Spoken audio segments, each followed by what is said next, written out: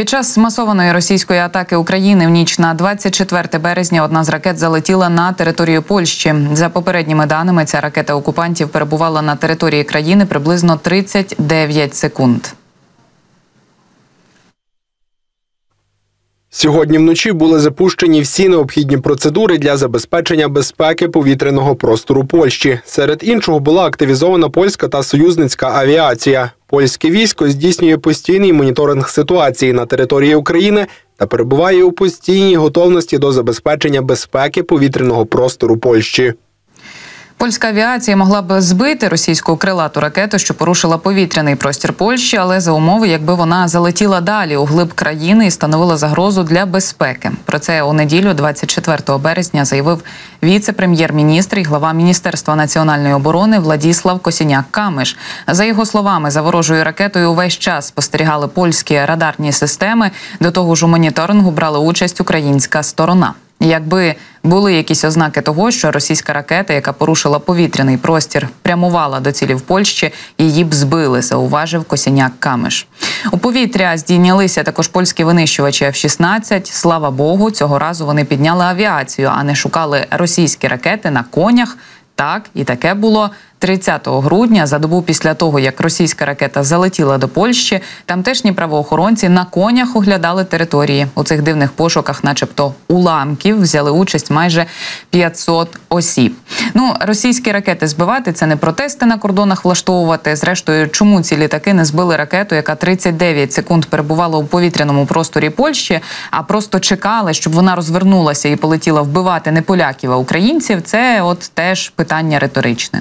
Під час цієї масованої атаки Росії по Україні лише 20 ракет летіли на Львівську область. За даними міського голови Львова Андрія Садового, ворог намагався атакувати об'єкти критичної інфраструктури регіону.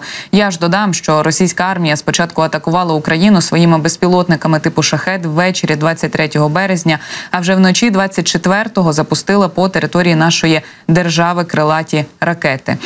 До відбиття повітряного нападу залучалися зенітні ракетні підрозділи та винищувальна авіація повітряних сил, мобільні вогневі групи, засоби радіоелектронної боротьби сил оборони України. У результаті нашим військовим вдалося знищити 43 повітряні цілі, 18 крилатих ракет Х-101, Х-555 та 25 ударних безпілотників Шахет 136, 131 у межах Дніпропетровської, Херсонської, Миколаївської, Одеської, Сумської, Київської, Волинської та Львівської областей. Саме стільки регіонів перебували під атакою ворога. До того ж, е, незабаром знову залунала повітряна тривога. Ну і на Львівщині окупанти цілили безпосередньо той об'єкт критичної інфраструктури, у який влучили ще до того. Про це повідомляє обласна влада. Там говорять, що на щастя рятувальників вдалося оперативно попередити і відвести в безпечне місце, бо бачимо, що ворог не нехтує і не гребує, і цілить туди, де працюють надзвичайні служби, допомагаючи залагоджувати атаки ось таких терористичних дій Російської Федерації. До новин ворогів наших переходимо далі. З Севастополя починати будемо пізно ввечері, 23 березня. У цьому місті було дуже гучно. Там лунали вибухи. Відомо, що є влучання, але росіяни звітували напередодні про так зване збиття ракет. А окупанти заявили, що збили нібито аж 30 ракет над Севастополем. Однак кадри говорять про інше. Зокрема, на відео видно влучання, яскраві вибухи та дим. Місцеві жителі заявляли про приліт у Севастополі. Найімовірніше це було у район колишнього штабу військово-морських сил України на вулиці Руднєва. Наразі там розташована російська військова частина. Натомість моніторинговий канал у Твіттері Осінт Технікал заявив, що нібито три українські крилаті ракети Storm Shadow поцілили в головний вузол зв'язку Чорноморського флоту Росії. Згодом про це заявив і кримський телеграм-канал, е, уточнивши, що це на вулиці Миколи Музики. 1 у партизанському кримському руху. АТЕШ тим часом заявили, що силовики та ФСБшники уже ходять по квартирах у Севастополі і перевіряють телефони. В АТЕШі також натякнули. Приліт ракет був у головний вузол спецзв'язку Чорноморського флоту Росії. І вже згодом з'явилася також офіційна інформація, що українські сили оборони вразили, поки що вразили, а не знищили великі десантні кораблі Ямал та Азов, а також центр зв'язку і кілька об'єктів інфраструктури Чорноморського флоту Російської Федерації у Севастополі. Я також е, додам, висловлю сподівання, що ці два великі десантні кораблі незабаром все ж таки приєднаються до крейсера Москва і продовжать годувати рибок у Чорному морі. Тим часом у повітряних силах мемом відреагували на ці кокієто хлопки у Криму. Привіт окупантам на півострові. Я повернувся. Такі слова і мем з котичком опублікували військові у соціальній мережі X або Twitter. До інших новин переходимо далі. Ісламська держава несе відповідальність за теракт у Підмосков'ї. Такий висновок роблять експерти з американського інституту вивчення війни. Російська влада заявила, що заарештувала чотирьох нападників та ще семеро осіб, причетних до нападу на концертний зал Крокус Сіті Холл 22 березня, під час якого, за повідомленням російської влади, загинули щонайменше 133 цивільних росіян. Російські джерела стверджують, що зловмисники увійшли в Крокус у п'ятницю, 22 березня, і о 19.55 за московським часом почали стріляти з автоматів по е, росіянах. О 20.03 дісталися головної зали, а в 20.13 втекли з місця події на автомобілі. ФСБ повідомила, що затримала у Брянській області 23 березня чотирьох осіб, яких називає нападниками, а також ще семеро осіб, причетність яких поки не уточнюється. Кремлівські джерела розповсюдили геолокаційні кадри, на яких російські силовики затримали чотирьох осіб, ймовірних нападників, перед тим як вони змогли втекти поблизу Брянської області. Російська влада стверджувала, що затримала двох осіб у транспортному засобі, яким їхали четверо, і переслідувала двох інших, які втекли в навколишній ліс.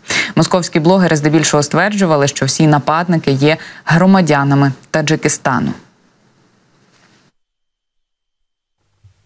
Інформаційне агентство Ісламської держави Амак взяло на себе відповідальність за атаку в ніч на 22 березня, стверджуючи, що їхні бойовики напали на великі зібрання християн на околиці Москви, вбивши та поранивши сотні та спричинивши велике руйнування.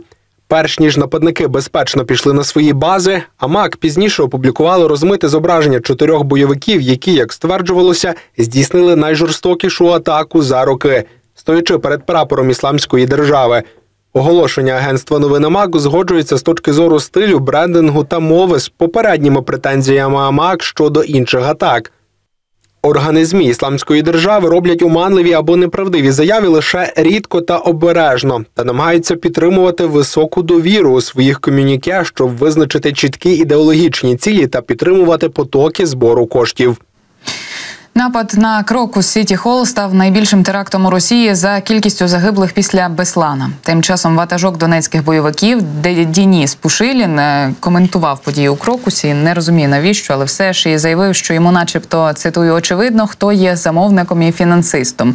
Ми знаємо цинізм українського режиму і тих, хто керує ним. Приплести Україну до теракту, що його найімовірніше влаштували ісламські бойовики, намагалася і речниця МЗС Росії Марія Захарова в ефірі одного з російських пропагандистських телеканалів повідомила, що Москва зробить усе, щоб західне співтовариство прокинулося від якоїсь дурману вседозволеності для Києва. Американський білий дім тим часом заявив, що не бачить жодних ознак причетності України до збройного нападу на концертний зал у Підмосков'ї, під час якого загинули десятки, якщо не сотні людей. Білий дім заявляв, що немає цієї причетності України, про яку намагаються стверджувати російські окупанти. Ну я також е, нагадаю, що е, британське перепрошую, що посольства США, Великобританії і Німеччини 7 березня дали важливе попередження своїм громадянам, які наразі перебувають у Москві. Амбасади заявили про можливі теракти у найближчі 48 годин, які могли статися у російській столиці. Росія, звісно ж, зігнорувала ці повідомлення, а потім заявила, що попередження цитую були неконкретними. Ну, ось така ситуація відбувається зараз на території Російської Федерації. Усі намагаються е, звинуватити е, в цьому Україну, але зрештою ми бачимо, що міжнародна спільнота е, говорить, що доказів причетності нашої країни до цього теракту немає.